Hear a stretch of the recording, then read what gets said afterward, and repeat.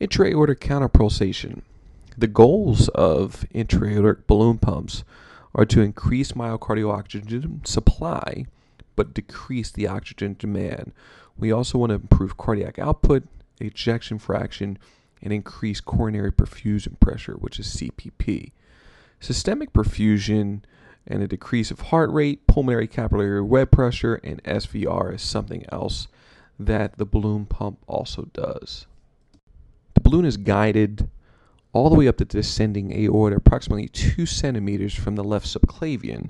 So at the start of diastole, the balloon will inflate, and then you'll have augmenting coronary perfusion. At the beginning of each systole, the balloon will deflate, and then the balloon is ejected from the left ventricle.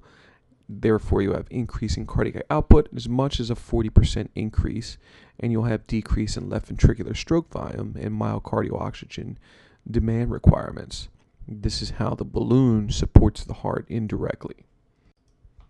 Counterpulsation timing is usually measured by a 1 to 1, 1 to 2, or 1 to 3 ratio.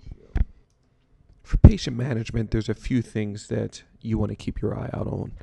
Some of the complications that can arise from counterpulsation are aortic dissection. Uh, you can have augmentation issues where there's timing.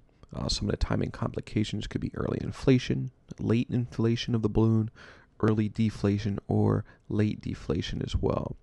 Some other complications include bleeding at the insertion site. You can have a balloon rupture.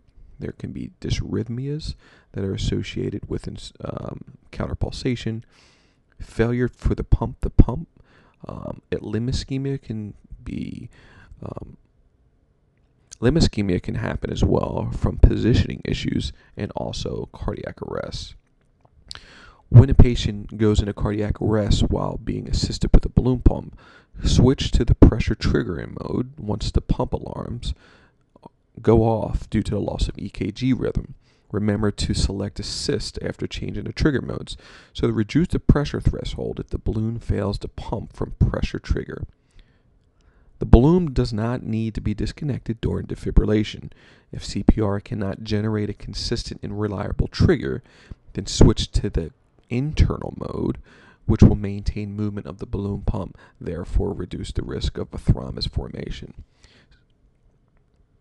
Some quick takeaways for the balloon pump is to remember that the, the goal of putting patients on the balloon pump is to increase myocardial oxygen supply but decrease the demand.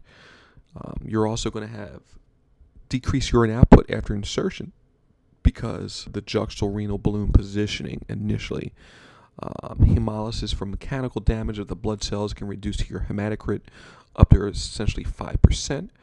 Suboptimal timing of the inflation and deflation of the balloon produces hemodynamic instability. The balloon pump is thrombogenic, so always make sure that the patient is anticoagulated and never switch the balloon pump off.